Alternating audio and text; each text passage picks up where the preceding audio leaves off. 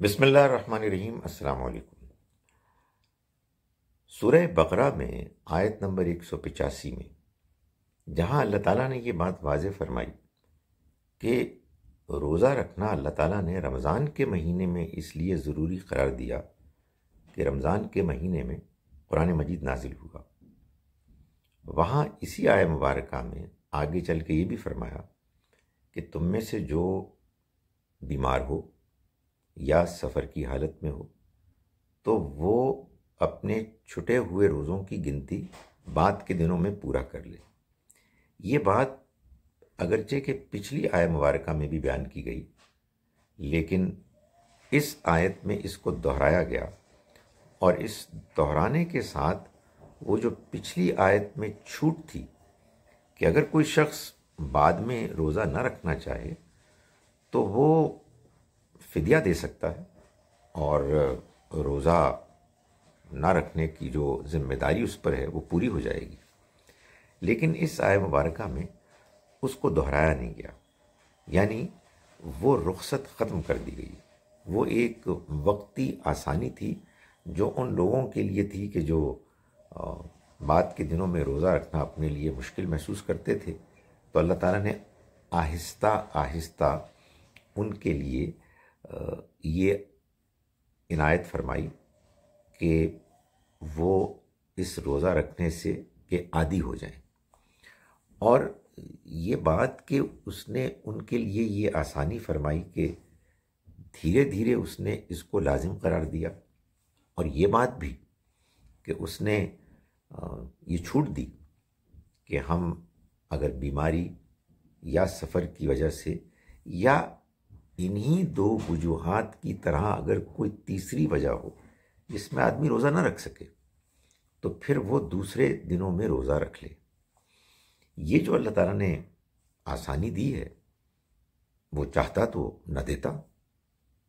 वो हुक्म दे सकता था कि तुमको रोज़ा रखना है, हर हालत में रखना है, इसलिए कि ये मेरा हुक्म है। लेकिन अल्लाह ताला ने ऐसा नहीं किया। क्यों नहीं किया? इसको इस आयत में, आयत नंबर एक सौ पिचासी में बयान किया कि युरीदुल्लाह बिकुमुल युसर। अल्लाह तुम्हारे लिए आसानियाँ चाहता है। वला युरीदु बिकुमुल उसर। वो तुम्हारे लिए मुश्किल नहीं चाहता। ये बात अल्लाह के दीन में एक उसूल की हैसियत रखती है कि जब कभी मामलात में फ़ैसला करना हो तो वो फ़ैसला करना चाहिए कि जो आसानी का फ़ैसला हो। वो फैसला नहीं करना चाहिए कि जो मुश्किल का फैसला हो। नबी सल्लल्लाहु अलैहि वसल्लम के बारे में ये बताया जाता है कि जब कभी भी आपको दो इम्कानात में से किसी एक इम्कान का इंतखब करना होता था तो वो हमेशा, आप हमेशा आईसुर होमा, उनमें से जो ज़्यादा आसान होता उसको इख्तियार फरमाते। इसलिए कि दीन आसान है। दीन में जो लोग मुश्किल पैदा करते हैं, वो असल में दीन की कोई खिदमत नहीं कर रहे। वो लोगों को दीन से दूर कर रहे हैं। दीन फितरी है।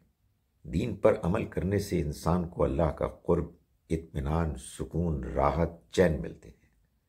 अगर इंसान दीन को ज़बरदस्ती, किसी को डराने की वजह से इख्तियार करे तो ज़ाहिर है कि इसका नतीजा निकलेगा कि बजाय इसके कि हम दीन के करीब आएँ, हम दीन से दूर भागेंगे। चुनाचे नबी सल्लल्लाहु अलैहि वसल्लम ने जब अपने नुमाइंदों को लोगों के पास भेजा, मिसाल के तौर पर ज़क़़त वसूल करने वालों को जब मुख्तलिफ़ इलाक़ों में भेजा तो आपने उनको ये हिदायत की, यस्सिरू वला तवस्सिरू आसानियाँ पैदा करो मुश्किल ना पैदा करो, व तो तुबशरू और खुशखबरियाँ सुनाओ, वला तो नफ़रू और नफ़रतें मत फैलाओ। सो अल्लाह का दीन आसान है। अल्लाह ने इंसानों के लिए आसानियाँ चाहिए।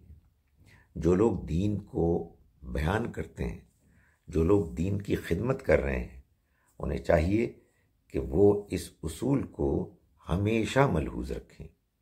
सख्ती के नतीजे में इंसान के अंदर दूरी और बगावत पैदा होती है। और नरमी के नतीजे में इंसान के अंदर मोहब्बत और दिलचस्पी पैदा होती है। अल्लाह ताला हमें अपने दीन को सही तरह से समझने और उस पर अच्छे जज्बे के साथ अमल करने की तोफ़ी अता फरमाए।